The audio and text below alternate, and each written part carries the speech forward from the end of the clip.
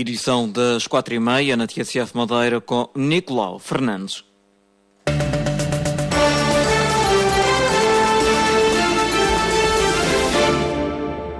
A saída do Reino Unido e as alterações que podem trazer ao projeto da União Europeia foram questões que dominaram uma conferência no Funchal sobre Europa que Futuro, uma iniciativa da eurodeputada do PSD, Cláudia Aguiar.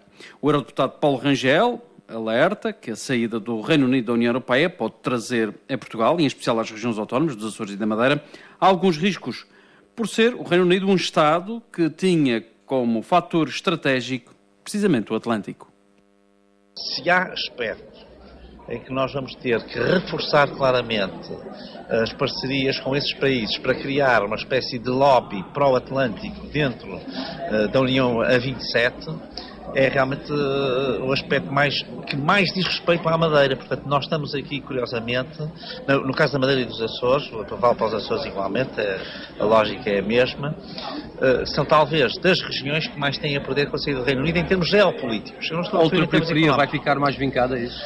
É capaz eu acho de... que, uh, não é, é, é, o que eu acho é que a dimensão atlântica, hum. que era uma das coisas que compensava o lado ultraperiférico, pode ficar mais esbatida. Portanto, é um risco que nós temos que prevenir. Portanto, eu, eu vou-me concentrar muito sobre esta dimensão, uh, se quiser, política do Brexit. Paulo Rangel espera que Portugal saiba consertar estratégias com os demais países atlânticos, de modo a manter um vetor de política atlântica e seja capaz de ocupar o espaço deixado vago com a saída do Reino Unido da União Europeia temos que perceber que temos que fazer outras alianças noutro tipo de políticas. Portanto, nós temos a Europa Atlântica, a Espanha e a França são países atlânticos, mas também são mediterrânicos e também sempre estiveram muito virados para o centro europeu, porque eles próprios foram potências continentais em diferentes alturas da história. Ora, os outros não. E, portanto, o Reino Unido aqui era o nosso grande parceiro, não é por acaso que Sim, era o grande parceiro da Madeira, nós sabemos que uh, a presença aqui foi sempre muito forte, uh, e de Portugal em geral, historicamente, portanto, porque há um interesse geoestratégico comum. Portanto, isto implica que nós sejamos capazes de fazer novas alianças dentro da União Europeia. A saída do Reino Unido da União Europeia também é um desafio para a Madeira.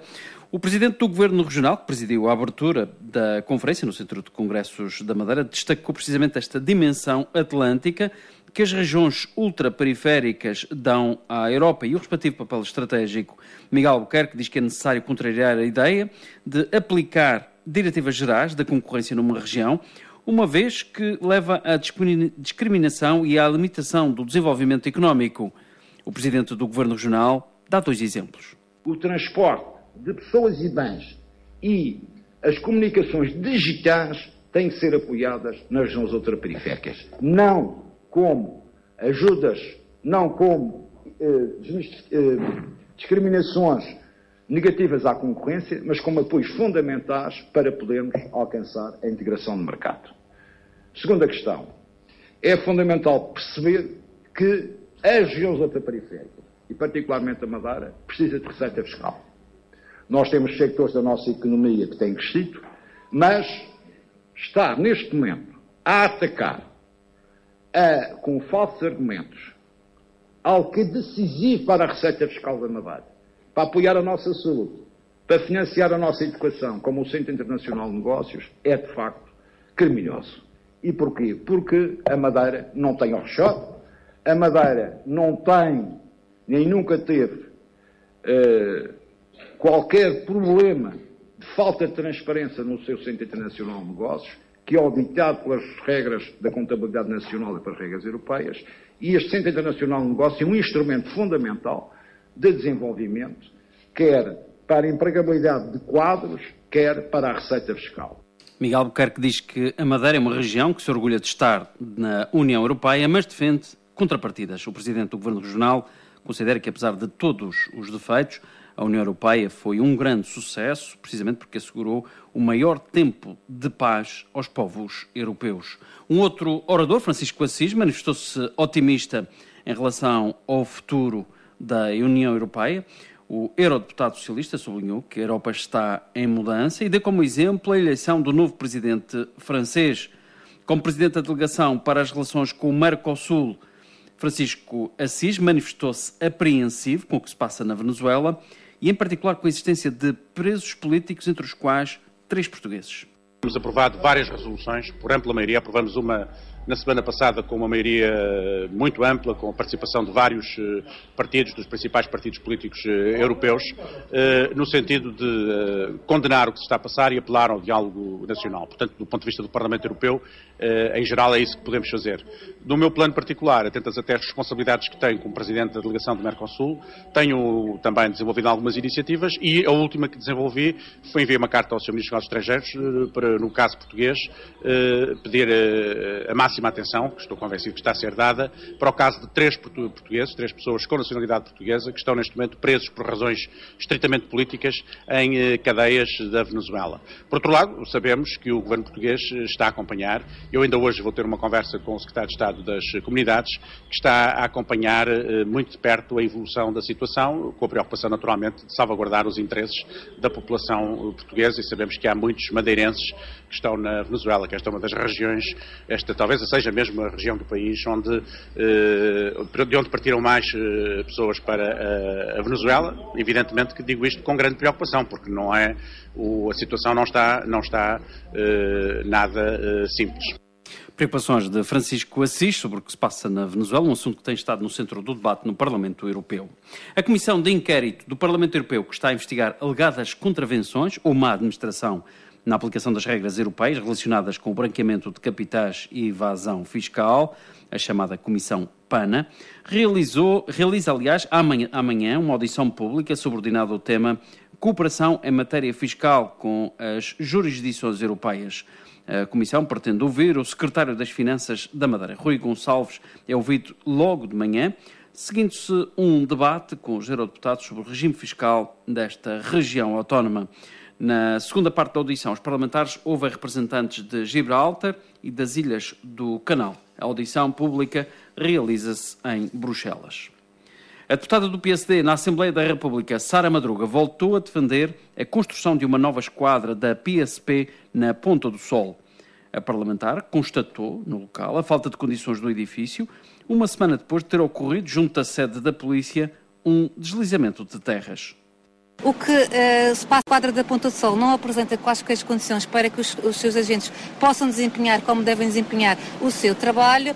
A, a termos de acessibilidades, a acessibilidade é péssima, é uma acessibilidade, um caminho muito estreito que nem sequer consegue circular praticamente um, um carro só não consegue lá chegar. Não há qualquer acessibilidade para pessoas com dificuldade de locomoção e, portanto, eh, não é admissível que nos dias de hoje eh, se encontre uma esquadra a funcionar naquela situação e, portanto, nós apelamos e temos feito essa pressão para que haja um investimento da parte da República numa nova esquadra na Ponta do Sol. O PSD reivindica a construção de uma nova esquadra da PSP na Ponta do Sol. Já o presidente da Câmara Municipal entende que não tem havido vontade política do Governo da República para resolver esta questão. Rui Marques lembra que, por várias vezes, apresentou uma alternativa. Da parte do Governo continua, digamos, a haver muita inércia. Portanto, há uma solução ótima junto aos Correios, com melhores acessibilidades, o edifício está de voluto, está em boas condições, necessita apenas de uma recuperação. A Câmara também já se ofereceu para, digamos, ajudar nessa recuperação. Uh, o edifício pertence ao Ministério da Justiça, bastava haver um protocolo de cedência do Ministério da Justiça para o MAI e, portanto, penso que é uma solução, uma solução fácil e com poucas verbas tínhamos uma, uma, uma nova esquadra. Portanto, volto novamente a referir que a bola está do lado do Governo da República. Estamos a fazer aqui todas as, as diligências para tentar solucionar o problema o mais rápido possível, porque eu gostaria, uma vez que estou a terminar o mandato, gostaria de ter essa situação resolvida antes de sair. Agora, se não houver boa vontade de, de outra parte do Atlântico, vai ser complicado. As reivindicações do Presidente da Câmara Municipal da Ponta do Sol, Rui Marques, está preocupado com a falta de condições da esquadra da PSP no Conselho e já arranjou uma alternativa. Falta, no entanto, a resposta do Ministério da Administração Interna. O CDS Madeira está preocupado com os últimos números de apoio social, nomeadamente com a ajuda alimentar, que nos últimos cinco anos aumentou sete vezes. Passou de uma ajuda de 1.600 pessoas para mais de 10 mil para o deputado Mário Pereira, esta situação vem colocar a nu a política que considera ser do faz de conta, que tem sido desenvolvida pela Secretária Regional da Inclusão e dos Assuntos Sociais, bem como contradiz as afirmações que a Secretária tem feito sobre a retoma económica. Estes números são de facto relevantes, no sentido em que vêm desmentir todas aquelas afirmações, nomeadamente da Sra. Secretária da Inclusão, Rubina Leal, que a retoma económica está a diminuir o sofrimento, nomeadamente o sofrimento social dos madeirenses. Tal não é verdade e estes números, que não foram desmentidos, uh, confirmam isso mesmo.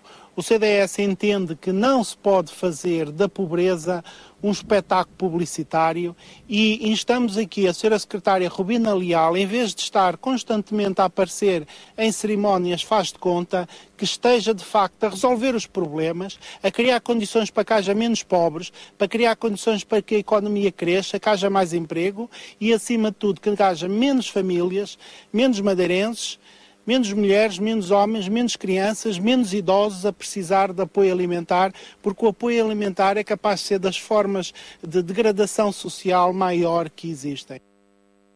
O CDS diz que a pobreza na Madeira tem aumentado. Mário Pereira tem por base os últimos indicadores revelados pelo Banco Alimentar contra a fome na região. Uma obra esquecida, o candidato do PS à Câmara Municipal da Ribeira Brava denunciou a falta de canalização na Ribeira da Tabua. Alano Gonçalves diz que o sítio dos lugares naquela freguesia foi esquecido após o temporal de 20 de fevereiro de 2010. Na altura, a Ribeira transbordou e colocou em perigo a população.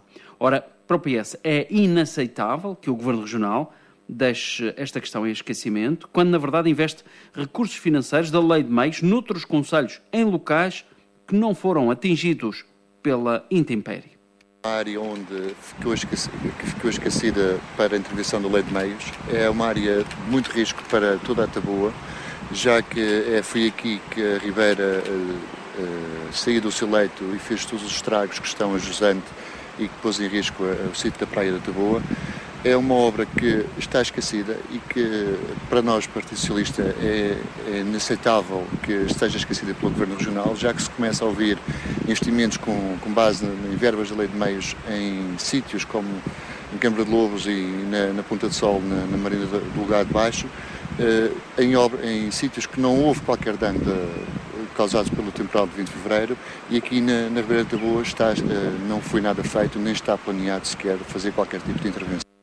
A denúncia do candidato do PS na Ribeira Brava, na Taboa, nada foi feito depois do 20 de fevereiro de 2010 e não se prevê qualquer tipo de intervenção que salvaguarde as populações.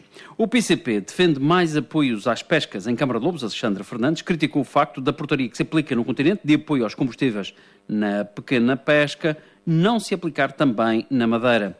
O deputado municipal acusa diretamente o governo regional. O ano passado, portanto, o PCP na Assembleia da República eh, apresentou uma proposta que foi aprovada no sentido de eh, apoiar os pescadores costeiros eh, com o subsídio a, portanto, aos combustíveis que utilizam na sua atividade diária. Ora, essa proposta naturalmente foi incluída, portanto, e está em vigor eh, através de uma portaria que foi publicada já em abril deste ano eh, para, e com efeitos a 1 de janeiro, para apoiar o pescador costeiro, tanto no apoio eh, ao combustível que utiliza na sua atividade, sobretudo as gasolinas. Eh, o que nós verificamos, infelizmente, a nível da, da região, eh, o Governo Regional não pretende, até o momento, portanto, aplicar esta medida que ajudaria imenso os pescadores costeiros que utilizam esta atividade, sobretudo, para, como atividade de subsistência. Uma portaria com retroativo, já janeiro, que apoia a pequena pesca, uma proposta do PCP, que vai buscar verbas ao orçamento do Estado, mas que, na Madeira, o governo regional não aplica. O mercado dos lavradores também se associa à Festa da Flor. O presidente da Câmara Municipal do Funchal inaugurou um tapete de flores à entrada do mercado, uma iniciativa que, diz Paulo Cafofo, só foi possível com a colaboração das próprias floristas.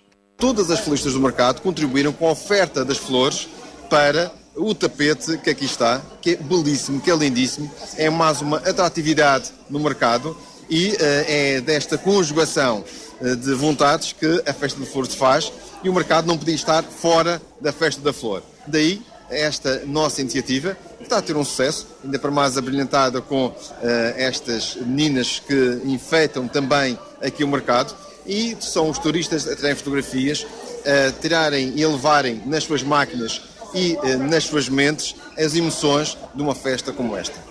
Há uma conjugação de esforços entre a Câmara e o Governo Regional. Tem que haver uma conjugação de esforços e de vontades.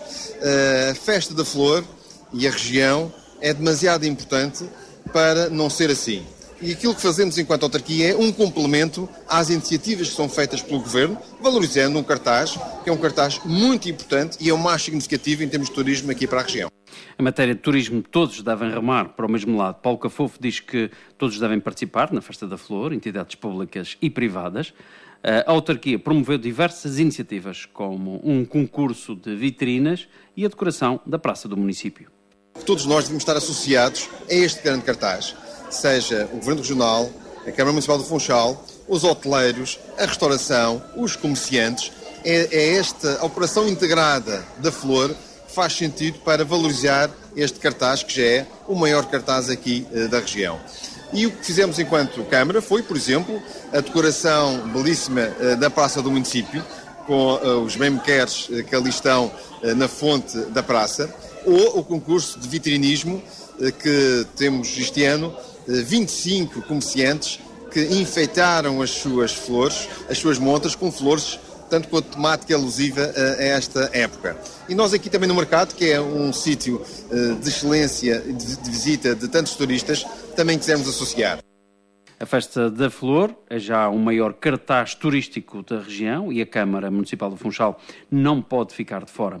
Além um concurso de montras, a autarquia promoveu, com a colaboração das floristas, um tapete de flores à entrada do mercado dos lavradores.